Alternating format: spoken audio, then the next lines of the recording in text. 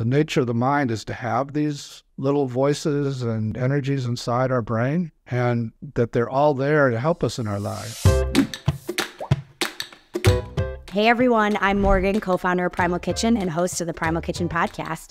In this episode, we'll be discussing the widely used form of trauma healing psychotherapy, internal family systems, with creator Dr. Dick Schwartz.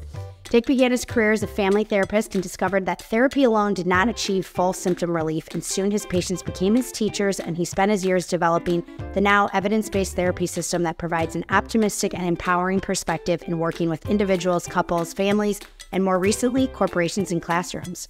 Before we get started, a brief reminder that any and all opinions and views shared by hosts and guests on this podcast are the speaker's own, do not represent the view of Primal Kitchen or its affiliates or parent company. Hello, Dr. Schwartz. How are you? I'm Morgan, and please call me Dick. I know you've told me that twice now. It just feels wrong, but I'll I'll abide. um, so great to have you.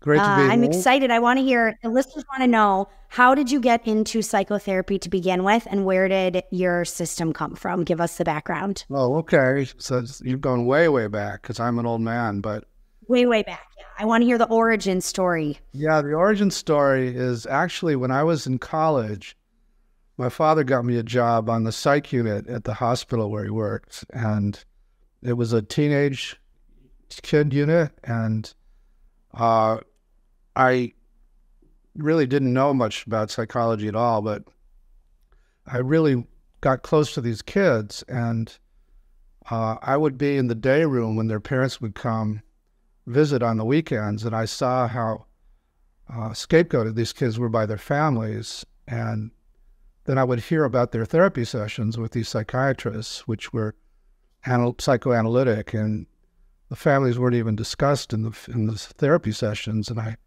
thought there's something wrong with this picture, and so I got interested in what I could do to change that. Didn't know anything about family therapy at the time. It, it was really a very nascent field at the time. And then after I graduated and did a lot of odd jobs, had no clue about what I would do with my life, um, I heard about this burgeoning field called family therapy and uh, did a couple degrees in that. And so then, yeah, the rest is history. Awesome. Now, when you say scapegoated, so tell me more. Like, so these kids are like checked into the psych ward, and they're coming in, and they just you can just feel the dysfunction in the family unit. Is that what you're referring to? Yeah, and and you could feel how much the kids were attacked as the big problem, and how much you know.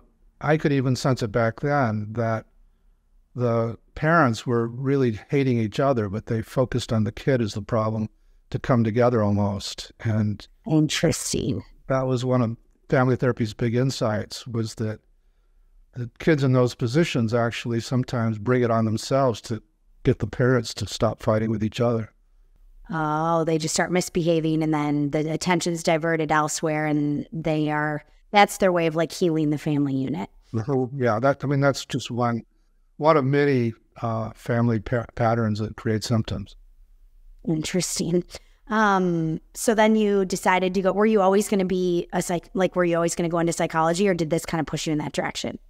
Yeah, that pushed me in that direction, and and then I heard about family therapy and wound up getting a PhD in that. And I was one of these obnoxious family therapists back in those days who thought we'd found the holy grail and we could cure anything without having to worry about intrapsychic stuff, stuff going on inside.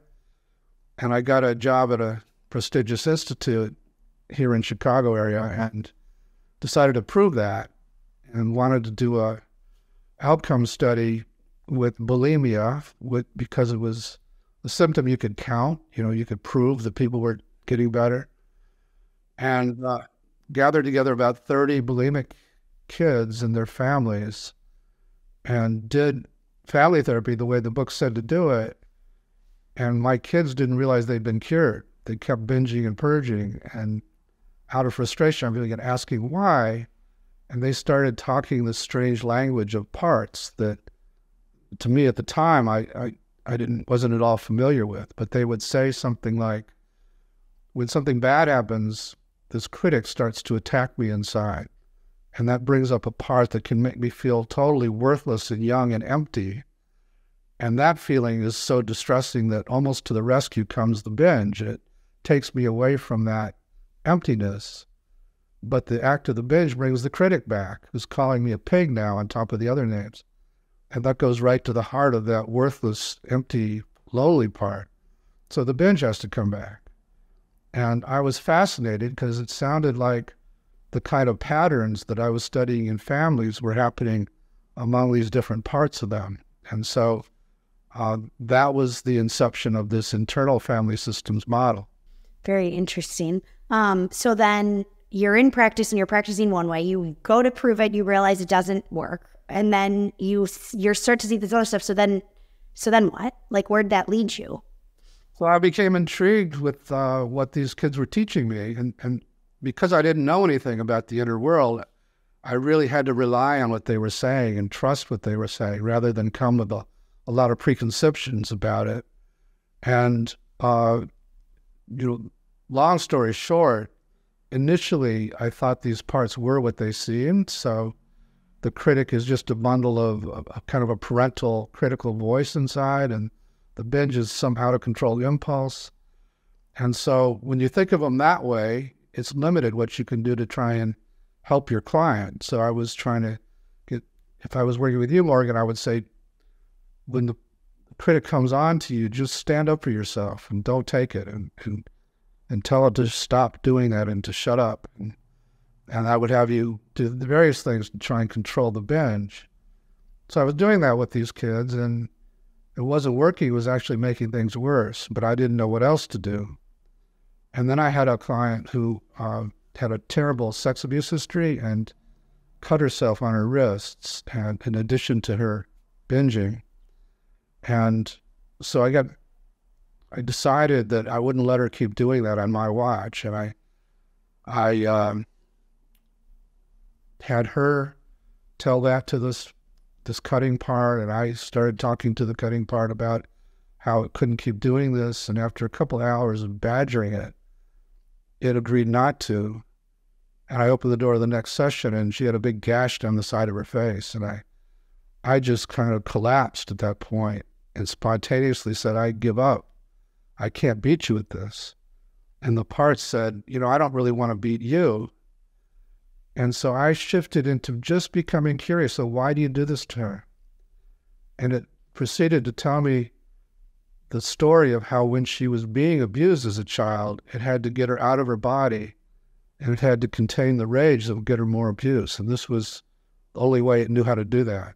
And so, with that story, I shifted again. Now, not only am I curious about it, but I have a kind of appreciation for the heroic role it played in her life. It literally saved her life.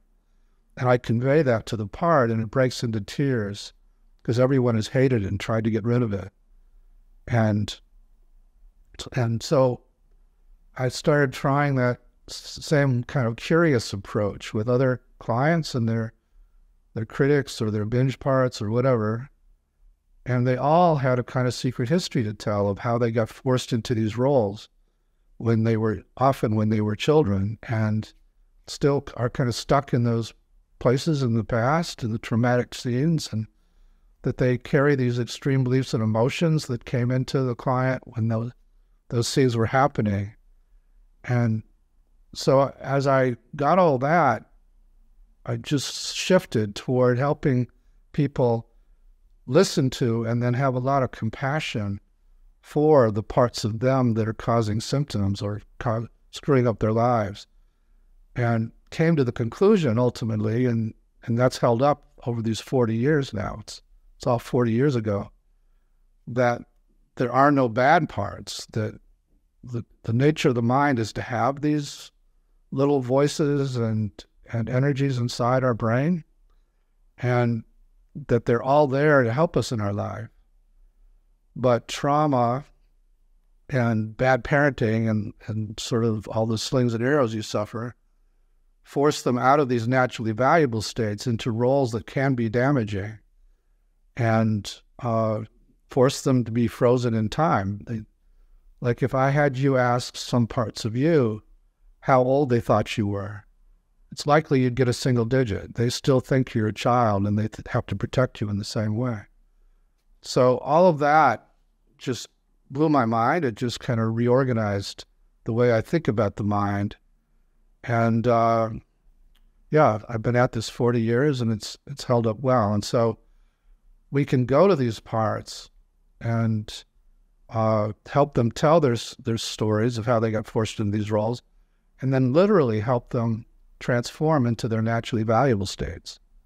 Now, when you say you talk to the part, like, what do you mean? Okay, so um, do you have a critic, Morgan? Oh, sure. I mean, we all have a critic, don't we? Yes, most all of us do. Yeah. Okay. Yeah, so, I'm sure. You want to try it for a second? Sure, I'm down. I'm I'm loving this. Okay, good. All right. So focus on that critical voice and see if it's broadcasting somewhere in your body in particular. See if you notice it somewhere in particular.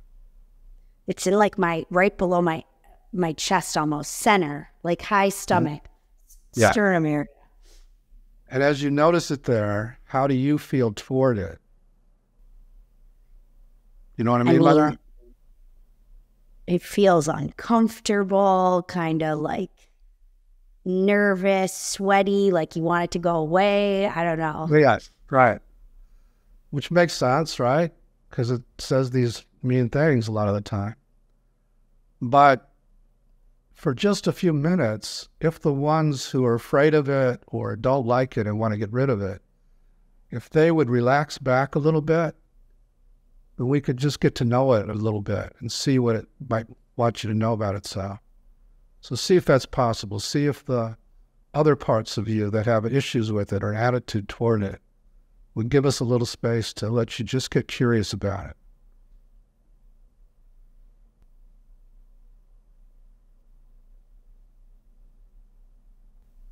I mean, I can relax the other parts of my body, but it, it it's still kind of there, but lesser. No, not, we don't want it to go away. Yeah. Okay. I, yeah, I just want you to get curious about it. So, are you open to getting to know it? Yeah. All right. So, okay. focus on that place in your body and just ask it why it's so hard on you. And don't think of the answer, just wait and see what comes. So, don't think, just focus on that place in your body, ask that question, and wait and see if the, an answer comes to you. I mean, in my mind came because you're not worthy slash ready. This is okay. weird, but that's just what popped through my mind. No, that's now you're doing it. That's perfect. So ask it more. This is a good question. Ask it what it's afraid would happen if it stopped being so hard on you. And again, don't think, just wait and see what comes back. Tell me the question one more time. What's it afraid would happen if it wasn't so hard on you this way? I mean, I'm getting like nothing, but maybe that's an answer in and of itself. no, um, we can do this a different way if you if you're up for it. Where I could sure. talk to I could talk to the critic directly. Okay. That'd be okay. Yeah. So I'll ask some questions and just whatever comes, let it come out of your mouth. Okay. Okay. So you're there? Are you willing to talk to me? Yes.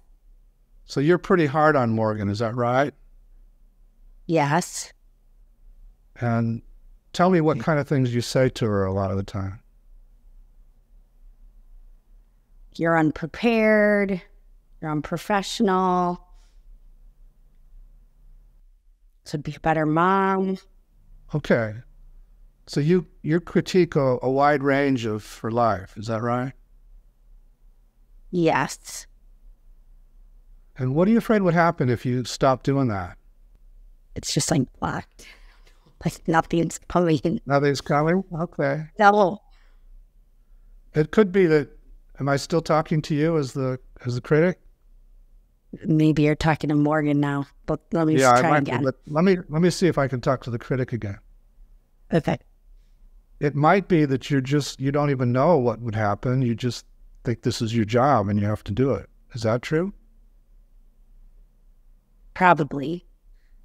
Or part of me I don't know if this is just came in, but feels like nothing would happen. Like, You mean nothing? You would do nothing. You, you'd be- yeah, like I wouldn't be motivated to do anything better. Okay. Or All I would just be, okay. yeah, like it's almost like a driving force. I'm just Got it. verbal diarrheaing right now, if you will. Yeah, yeah, yeah. So, so you're trying to motivate Morgan all the time to work harder, look better, do do the right thing, something like that. Yeah. Okay. And does she listen to you most of the time, or does she react in that way, or does she try to shut you out? She listens. but I think she listens. Okay. And so you are afraid if if you didn't do this, she wouldn't be motivated to try hard or something like that. Yeah. Okay. Let's say you could trust that she still would try hard and do do well without you having to do this job to her. Is there something else you'd like to do instead if you were freed from this role? I mean, just breathe came to my mind, but I don't know Yeah. where. Yeah, so you would like to help her maybe relax and breathe. Does that sound right? Or the critic wants to breathe. I don't know. Maybe the critic just, uh, needs a break. All right. Well, let's let me talk to you again, and you you've talked to the critic. So ask it if that's right, if it wants a rest or wants to breathe. I mean, it's kind of like the sensation is going away, like almost Yeah, it's relaxing. can't feel it. Yeah. Yeah. So let it know this has been a really hard job. It's it's had to really work all the time to push you, and that you get that now. And see how it reacts to your empathy.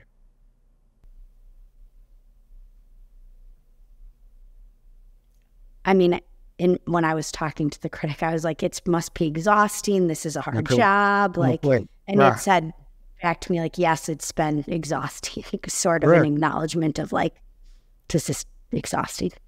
Yeah. Okay. And one more question for it. Ask it how old it thinks you are. Again, don't think of the answer. I mean, Nine came Nine, right yeah. to my, yeah. Okay. So let it know that when you were nine, it may have had to do this job. Might, this might have been necessary when you were nine, but you're older than nine now.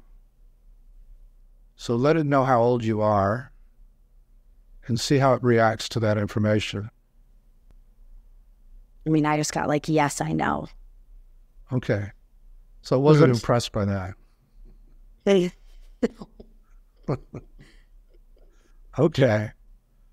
All right. But on your own, you can ask if there's something it wants you to know about what was happening when you were nine that made it jump into this role. You don't have to share that with us if you don't want. I mean, all that came was like, "You were," and then it was like tears, and then that's the last word I got, and then it just kind of went to blankness. Okay. So it sounds like it's implying that you were very sad or you were hurt or something like that. Does that sound right? Perhaps. Okay. We don't have to speculate. But as you've gotten to know it this way, how do you feel toward it now? I mean, a little more sympathetic.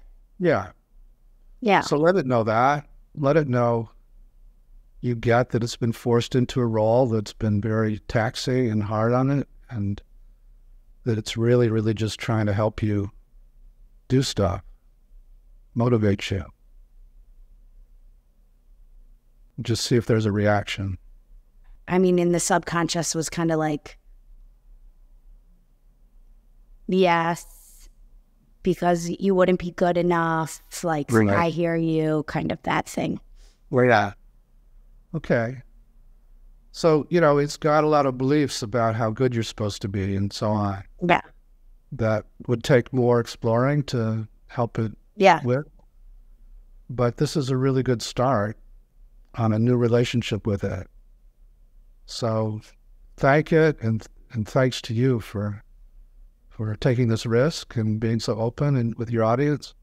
Yeah. Yeah, so interesting. So shifting away from my inner critic, I like so many questions were coming up for me. Uh, this is probably like a little hard to focus, but that was very interesting, like how things just kind of pop in your head, right? And I remember like the first time I meditated ever when I was, I know I can remember where I was. I was at the pool in the town I grew up in, in the suburbs of Chicago, and I was reading a book that my Buddhist therapist at the time had recommended, like kind of like an introduction to meditation type book. And it was like, you know, sit back and listen to your thoughts. And just, I remember being astonished at like what was going on in my brain in yeah. behind, you know, behind the scenes that I just wasn't even aware of. I'm like, this is what happens when I just don't think about anything and all these things that come up. So it kind of reminded me a little bit of just another form of astonishment at what's going on that we're not even just like consciously aware of.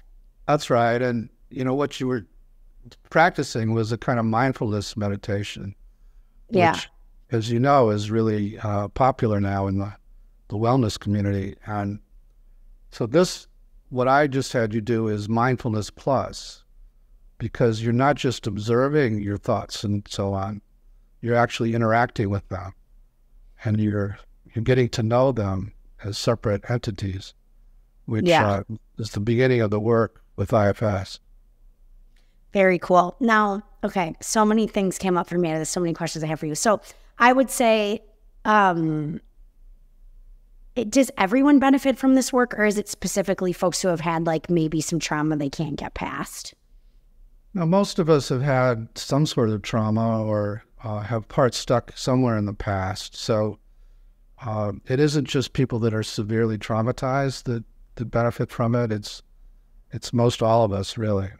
Yeah because I'm not one who like even when like the number nine came up, like fortunately for me, I'm not one. I don't have any like big big traumas in the sense of like sexual abuse, physical abuse, anything that really stands out. I'm sure I have many traumas, um, which you know, and I think there's a blend in all of us, right? Like I think mm-hmm. I don't know. I'm just curious your take on like how many folks are dealing with like overcoming just how would you even describe what are we even overcoming here? Just parental expectations on children 1st mm-hmm. Yeah. That's ranging right. from that all the way to severe abuse in your childhood. Like That's right. I mean, I didn't have any big T trauma either as a kid. And I'm still working on parts of me that were stuck in scenes where my father was yelling at me about how lazy I was or things like that. So uh, it doesn't take a yeah. lot for a sensitive kid to take on these kinds of burdens. Yeah. And then it kind of shapes how pleasing we are or how rebellious we are or what kind of goes from there. And it, so, okay, I'm a parent.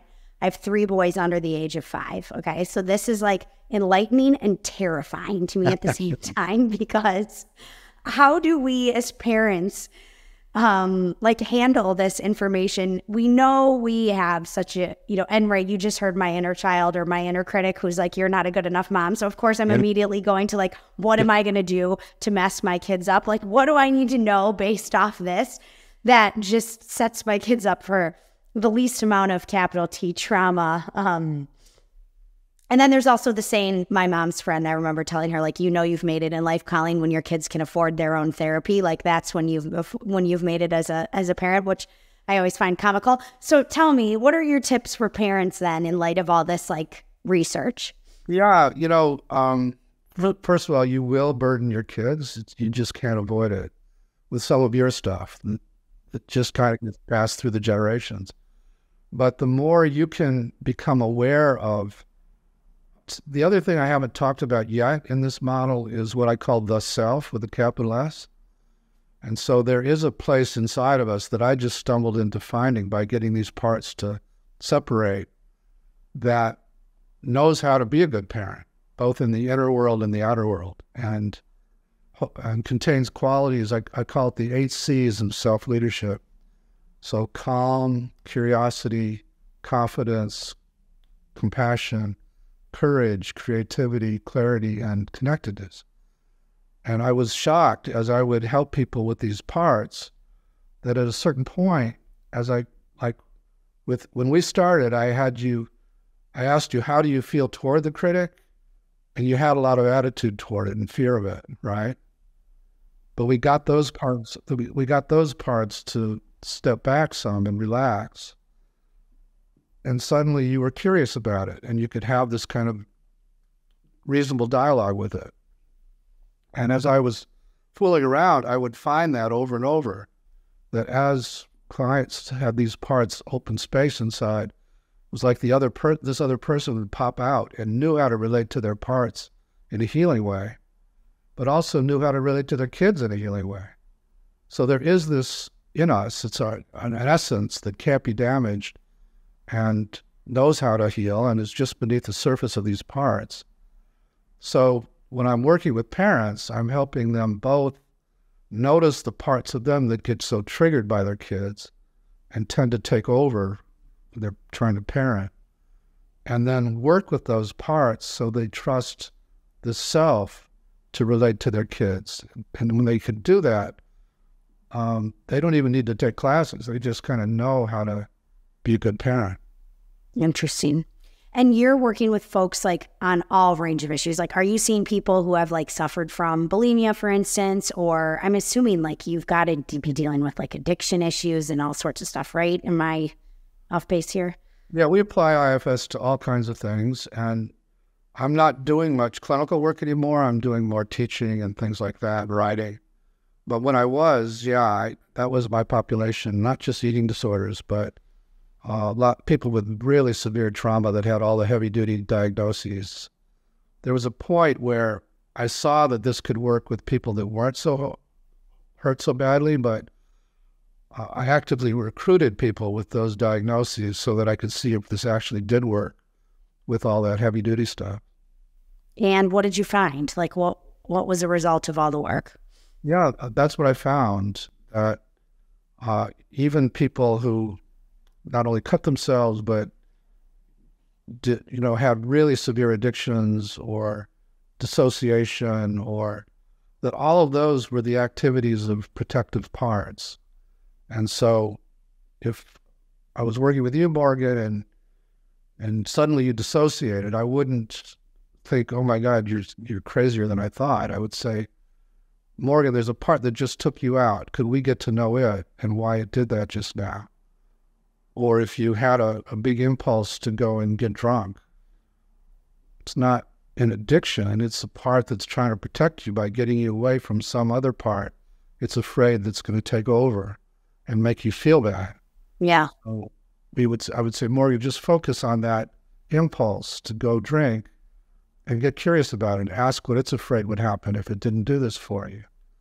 And in doing that, two things happen. One is you have a totally different understanding of these parts and why they're doing what they're doing.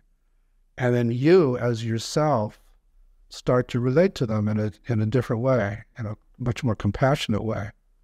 And and then they start to trust yourself as a leader. And as they once they trust you as the leader, it's much easier to say to the one who wants to drink, Yeah, I get why you want to protect me that way, but just let me handle this. You don't have to do it right now. And you find that addictive part just kind of relaxes and lets you move on. Yeah. And what would you say like your success rate was with this kind of therapy and how long does it normally take? Like how many sessions? Mm-hmm. So I'm um, being like what's work like? There are a number of different outcome studies. Uh, we did one, for example, with PTSD, and um, all but one client stopped having PTSD symptoms after about 16 sessions. Uh, and there's an, another study that's got a control group with PTSD based on that first one coming out um, this fall. And uh, we're looking to have pretty comparable results. So it's, a, it's been very effective. Um, the original outcome study was actually with rheumatoid arthritis.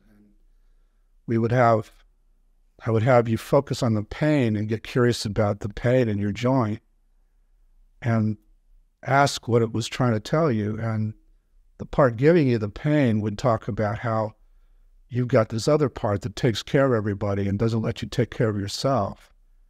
And it was trying to get a message through that you can't keep doing that. And we would work that polarization out inside, and people's arthritis would get a lot better. So, um, yeah.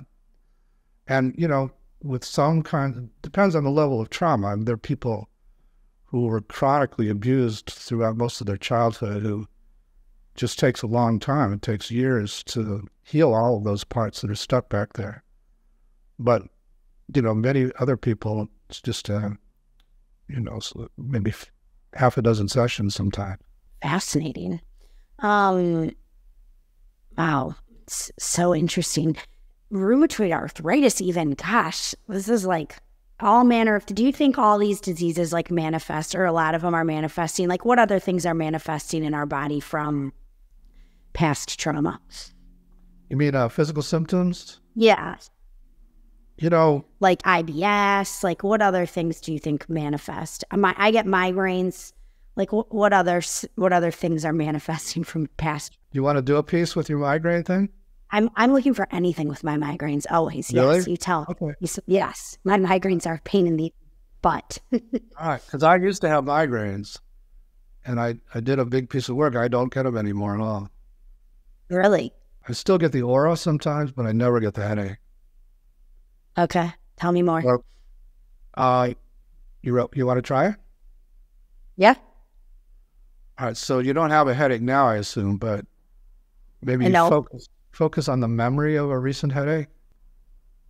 Yeah. Sort of find that in your body or around your body. Yeah, it's always my like right temple and Okay, above good. my like this is where always my migraine is, right here. Right Good. temple, right above my right eye. So as you notice it there, how do you feel toward it? Cold. It makes you feel cold, or you feel cold toward it. I feel cold toward it. I don't know. That was just the first thing that came to my Okay, mind. Great. But again, ask if your parts will let us try and get to know it instead of keep you distant and cold from it. I mean, it just says it's like no. Okay. Never tell me that. yeah. But Okay. ask them why they don't want you to try to get to know it. It gets none of your face. Okay. Are they saying that to you or to me? to me, I don't know. To me, Okay. yeah. No, that's that's great. So we're not going to work with the migraine yet or today. Okay. Okay. We we are curious about these parts that say it's none of your business. Is that okay? If we talk to them? a Yeah. Yeah. Yeah. So ask them why they think it's none of your business. Why? What What are they afraid would happen if you talk to the migraine? It was like it would go away. And what would be bad about that? Do they do they rely on it for something? I mean, this is so weird. It's like for keeping Morgan in line. Okay. This is like so foreign. I mean, I'm on all sorts of therapy and I'm like pretty open. I live in Southern California, but this is it requires like an extra level of vulnerability, huh? I'm Yes. timing out.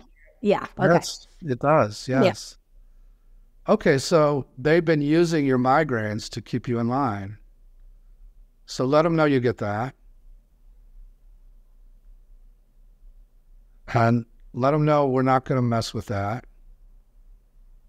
But ask them, and again, you don't have to tell me, but ask them what kind of out of line are they worried about without the migraines? It's like overdoing it.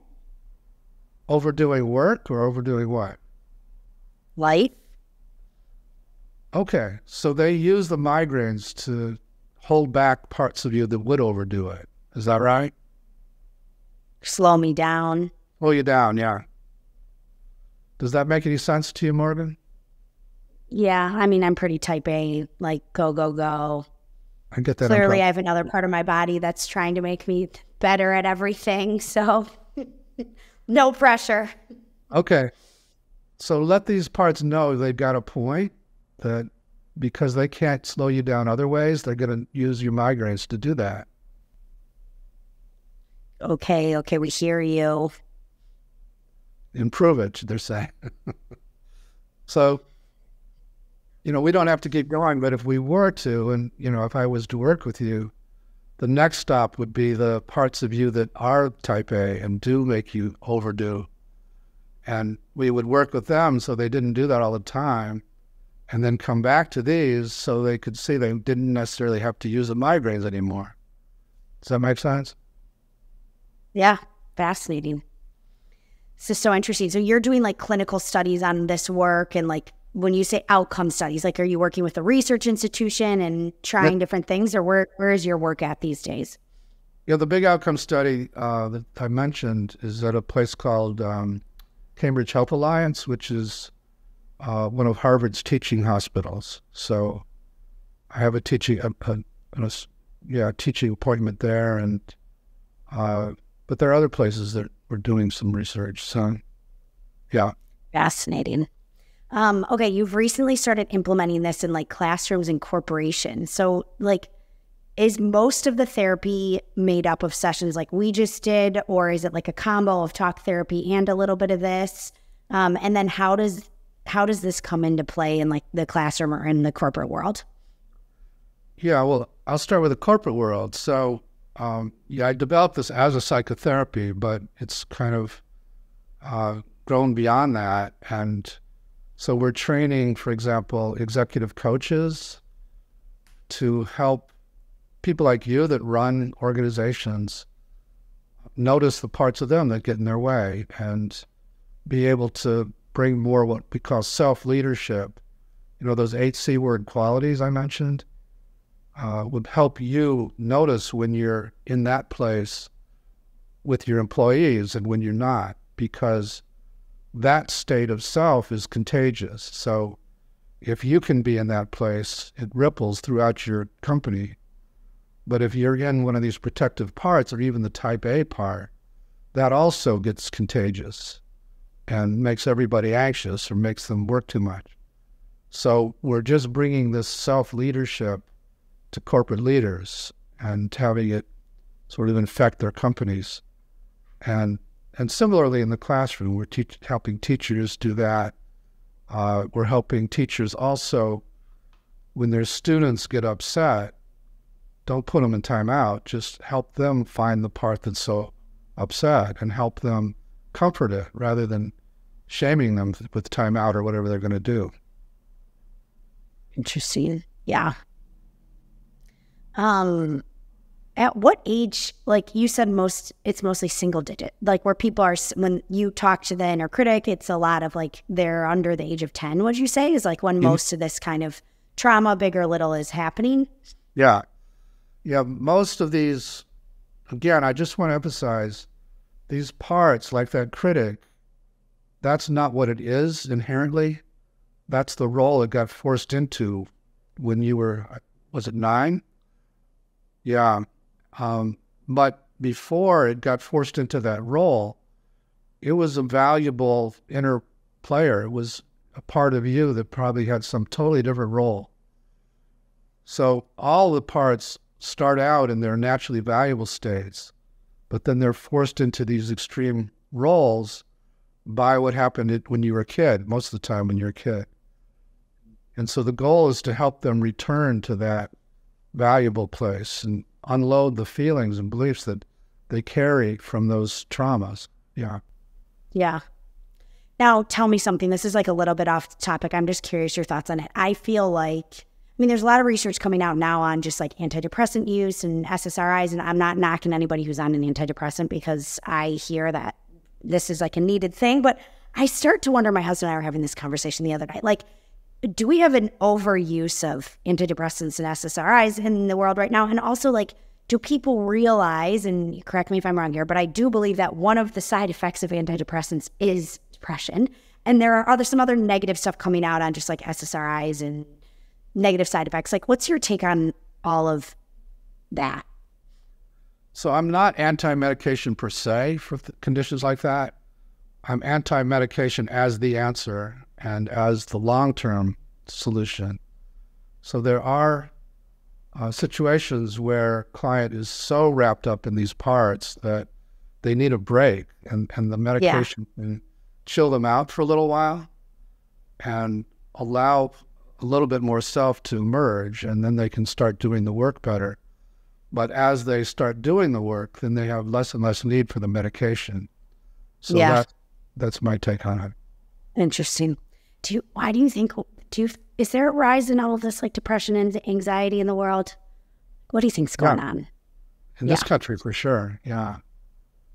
Yeah. I mean, you know, for some, some good reasons, you know, with climate change and AI and all the things we're facing and Donald Trump. And I don't know what your politics are, but he he's a shit disturber. So, Yeah. It's just more stress in the atmosphere. yeah. Yeah. Yeah. And, you know, even though the economy is in a good place right now, um, it's still true that 60% of people live paycheck to paycheck. So there's a huge amount of economic insecurity, and there's still a lot of racism that keeps people exiled in, in various ways and bombards them every day with uh, being triggered. And so there's a lot of reasons that many people, in, at least in this country, are chronically triggered. And when you're in that state, you're going to have to have some of these other protective parts that get you away from it somehow. Yeah. Are there any techniques from IFS that people could do at home? Or like have you trained a bunch of other practitioners? Like you said you're not practicing much clinically these days. Like are th- there people trained under you? Like how can people get help if they're interested in this modality?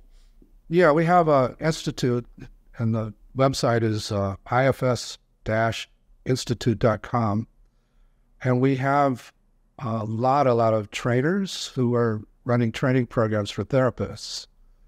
So we train. I I think last year it was uh, something like three thousand therapists around the world. It's it's all around the world now. Uh, we we haven't brought it directly to the public yet, but they're we're starting to consider doing that. And there is a way that people can do this on their own. It it becomes less of a psychotherapy and more of a kind of life practice.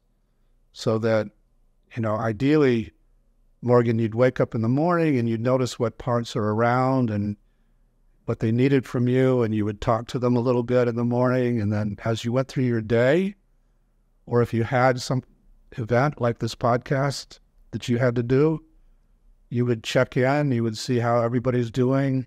What do they need from you to let you handle the podcast? Uh, and like that. So it becomes a, a daily practice. And there are some people who can do the whole thing and really heal a lot of their parts on their own. It's quite amazing. I can't do that. I need somebody to be there with me at the time. But So what did you train someone and they help you? yeah, Yeah. I trade sessions with somebody. Yeah. That's cool. You meant you meant you were the mentor for someone, and then you said, "Hey, colleague, can you uh, do a little of my own medicine on me?" Type of a, type of a Very much, situation. yeah. Love it. Um, as like a parent, looking back, I'm stuck on this because I'm just curious. Um, and I know your daughter. We went to college together. For those listening that don't know this, there's no reason you would. Um, but Sarah and I went to college together. You're and I heard you on the ritual podcast, and I was like, Sarah, is this your dad? You need to introduce me. I have to talk to him. So that's how he ended up here. But um, very interesting conversation on ritual for anybody who listens to that podcast. Check it out. But um, you have three free girls, right? Do you look back after like knowing what you know now, wishing you did anything different as a parent, like when you were raising your girls? Oh my God, of course. Yeah. Like, tell me more. I want to know what what it is. Come on. You should get Sarah on here and she can t- tell all. um, you know, I was uh, partly I was not present as much as I would want to be because I was trying to develop this thing, and Yeah.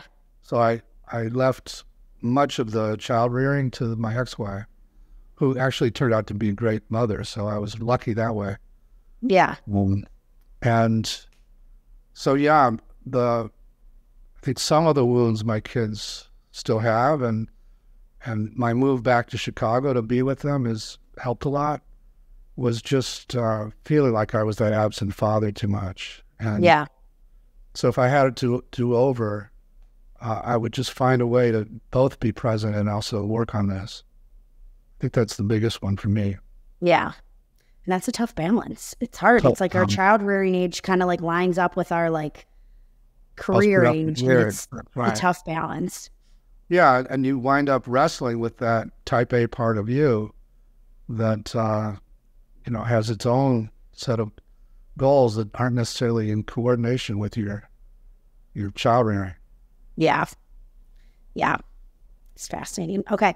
I ask everyone this. Um, that comes on the podcast. It's like my final question, but and you kind of you just opened up, so you just shared with me something that I'm sure most people don't know. But I'm going to ask you for another thing. What is something most people don't know about you? Like crazy Cool. story, hidden talents, anything that comes to mind. I wish I had hidden talents. I, I'm I'm good at one thing, which I've demonstrated here today Yes. twice. But um, what what do they what would they not guess about me? I could play it safe and say I played football in college at my size because I'm very short and but I was very fast. I love Um, it. How tall are you? Right now I'm five five. I was maybe five seven when I played. Okay. I love it. uh, Where'd you play? I played at a Division three school called Knox College in Illinois. You might have heard of it since you're Of course. Yeah. in Illinois. Yeah. Okay. That's a good one. Um, but if I was to be more vulnerable, you know, most people don't realize how much worthlessness I came out of my family with and how much that drove me to create this thing. So, uh, so I, yeah, I have parts that carried that burden. and Really, it really did motivate me. So, So you could relate with me when I was having this inner critic that was oh yeah, motivational. totally. Interesting. I have to tell you, Morgan, that guy has retired. He's he's he's he helps me be discerning now. He's not criticizing, and it's a much easier way to live. And I still I'm still very productive.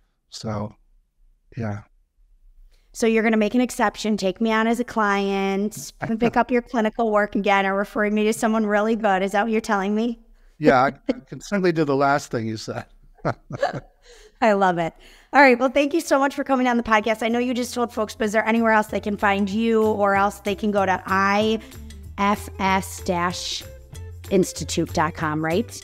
There are lots of videos of me on YouTube. Uh, there are, you know, I'm all over uh, Google. If you Google me, you'll find all kinds of stuff. Very cool. Well, thank you so much for spending time with us today, Dick. I appreciate it. Um, and we look forward to folks who are listening learning more.